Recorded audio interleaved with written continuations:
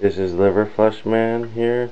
Uh, today I'm gonna make a liver detox juice here.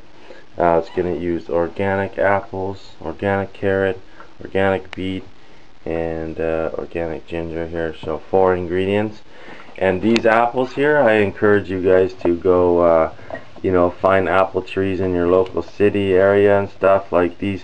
I got a huge bag of apples and more in the fridge. And as you know, from my other videos, apples contain malic acid which dissolves liver and gallstones. So the malic acid is really good for the liver.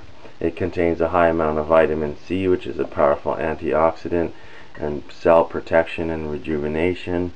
And the carrots here have lutein and beta carotene which are good for the brain, heart, and uh, and the liver as well. It helps produce glutathione, and carrots have glutathione as well in them and the beet here is really cleansing for liver helps secrete bile.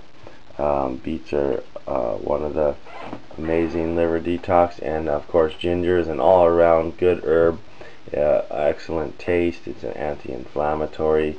So um, yeah you know if you can if you can find fresh fruits and stuff and trees nearby uh, just shake just pull on the branches and shake off the, the, all the apples there onto the ground and and uh, juice them up there and get the malic acid so we're just going to juice these up. Have amazing liver detox drink here. And it made uh, two full 16 ounce glasses here. So a total of about I'd say about 35 ounces of juice from three carrots one beet uh, a bunch of apples and some ginger there.